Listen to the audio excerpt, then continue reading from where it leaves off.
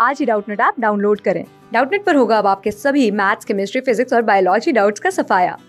बस अपने क्वेश्चन की फ़ोटो खींचो, उसे क्रॉप करो और तुरंत वीडियो सोल्यूशन पाओ। Download now. हेलो बच्चों में प्रश्न दिया गया है बहुपद एक्स की घात छह माइनस में नौ एक्स की घात चार प्लस एक्स स्क्वायर माइनस में नौ और एक्स की घात तीन प्लस में तीन X square plus X plus तीन का एस सी एफ़ क्या है? तो देखिए, सबसे पहले हम पहला बहुपद लेते हैं एक्स की घात छह माइनस में नौ एक्स की घात चार प्लस में एक्स स्क्वायर माइनस में इसमें से क्या किया? हमने एक्स की घात चार कोमा ले लिया तो ये क्या बन जाएगा? एक्स स्क्वायर माइनस में इसको ऐसे कैसे लिख दिया? प्लस में एक्स स्क्वायर माइनस में नौ तो अब देखिए, यहाँ से क्या हो जाएगा? एक्स स्क्वायर माइनस में नो कॉमन ले लिया तो ये क्या बन जाएगा? इसकी घात चार प्लस में एक.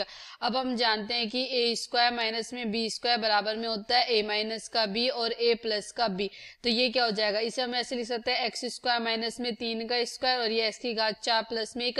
तो ये क्या हो जाएगा? एक्स माइनस का तीन एक्स प्लस का तीन और एक्स की घात चार प्लस में एक। अब लेते हैं हम दूसरा बहुपद। दूसरे बहुपद में हमें कह दिया? एक्स की घात तीन प्लस में तीन एक्स स्क्वायर प्लस का एक्स प्लस का तीन। इसमें से क्या किया हमने? एक्स स्क्वायर कॉमन ले लिया तो यहाँ क्या बच जाएगा? एक्स प्लस का तीन प्लस में क्या हो जाएगा? एक्स प्लस का तीन।